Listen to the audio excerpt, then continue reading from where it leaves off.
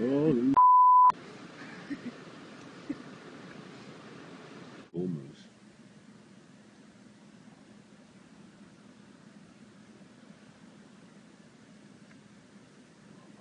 Up one more time.